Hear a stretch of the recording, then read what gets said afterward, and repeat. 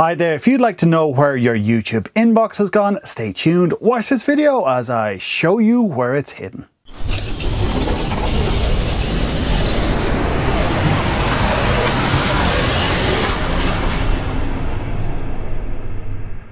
Hi there, David Walsh here once again from davidwalshonline.com and in this video I'm going to show you where YouTube have now hidden your inbox. Now if you've been on YouTube any amount of time at all you know that YouTube like to change things around when we least expect it and this is the second time this year that they've moved the inbox. With their new Creator Studio layout, things have got moved, things have got changed, and we're going to explore now where things have been moved to and what they've been changed to with this new layout. So let's head on over to the computer as we reveal all. Okay, so here I am in a channel and to get to what's called your new messages, your new inbox, you go to Creator Studio on the top, click on that, click on your icon, then Creator Studio, then go click on Community on the left hand side, and then you click on Messages. So this is where your messages are.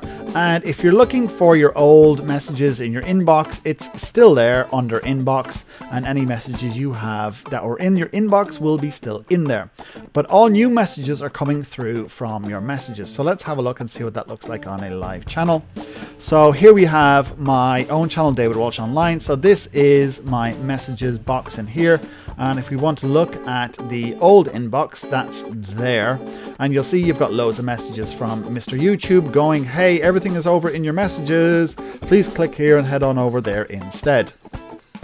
So we have our messages here and just like your comments, you can report spam or ban from channel. And to reply the same way as you would on your comments, you just hit reply there.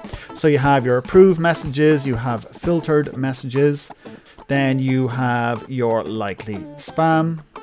So you have all your messages that are likelihood to have spam in them, and then you have your sent messages as well.